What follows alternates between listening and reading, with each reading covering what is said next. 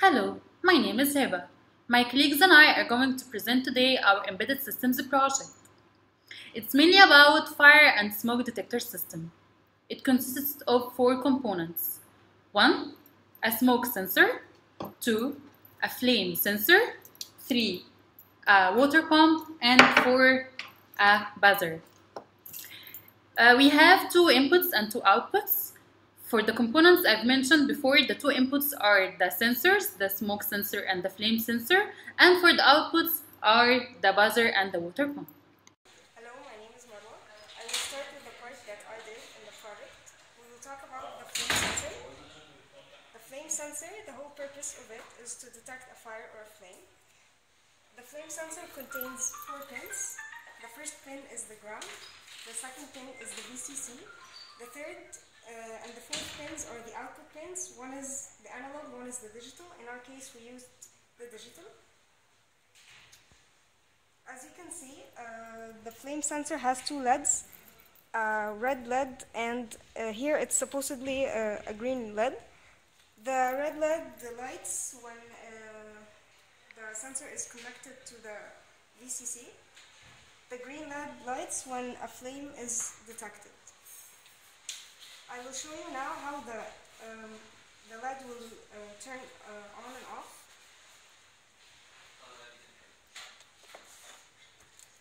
Now it's off. I will reconnect it back. It lit. And the same will happen with the flame. Now, uh, when the flame is detected, uh, a signal is sent from the sensor to the output, which is the digital, and that will uh, make the other components uh, turn get turned on, uh, as you will see later in the video. As we mentioned before, one of our input is the smoke sensor. Here it is. The smoke sensor has four pins. One is for the VCC, which is connected to the breadboard, and from the breadboard to the Arduino. One is for the ground, and it's two connected to the Arduino uh, through the breadboard. And one is for the digital output, and one is for the analog output. We decided to use the analog output because analog in general provides a range of numbers. So we can test like using a small amount of smoke, we can activate our outputs. However, the difference between the analog and, uh, and the digital is that the digital has to be like on or off. Like we have to have like a huge amount of smoke in order for it to activate the output. So here, for example, we choose to read like when it comes to 300 or 400 or something, from the reading of the uh, smoke sensor in the Arduino, we will activate our outputs. Uh, I've worked with the pump. I'm going to introduce to you why we uh, thought that we need a pump in a fire uh, detection system. Um, actually, we, we thought uh, of adding the pump because when uh, when people are exposed to uh, uh, fire accident situations, they panic and they feel that they uh, do, do not know what what they should do and and um, so we thought of adding the pump as an automated solution from our fire detection system to uh, put off the fire. Uh, let's talk about how uh, we connected the how we connected the pump. This pump is a DC brushless pump.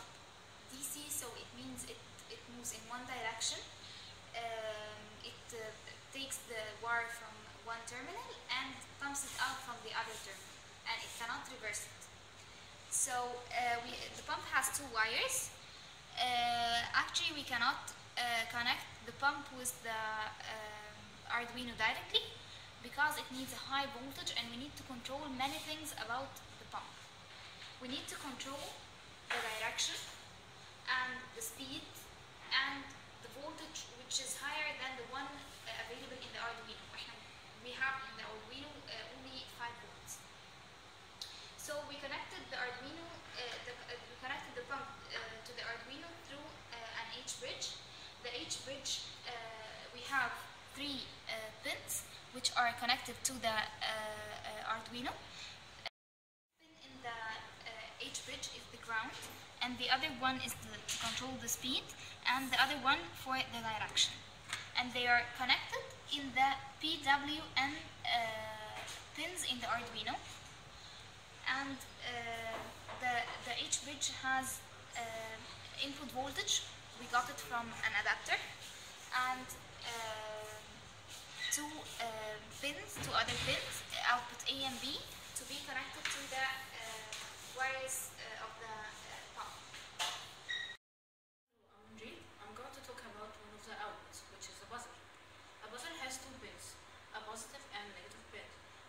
The negative pin here is connected to the ground, and the positive pin is connected to one of the digital pins in the Arduino. And now I'm going to some of the connections of the project. The pump has a separate circuit. It takes a signal from the Arduino and this signal is sent to the H bridge which, connect, which is connected to the pump and uh, decide uh, whether the pump should operate or not. Uh, we have uh, we have here a breadboard. Um, this node is the VCC. It has the VCC from the smoke sensor, VCC from the flame sensor, and a wire connected to the VCC from the Arduino. This node here uh, is the ground.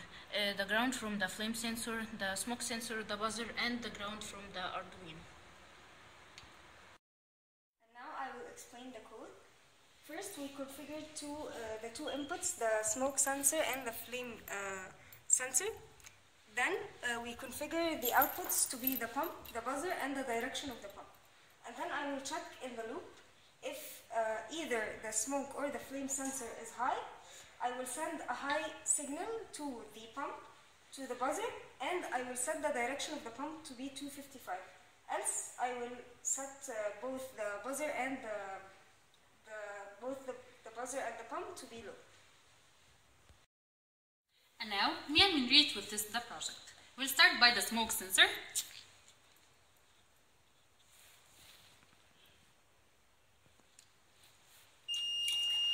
Here the pump work.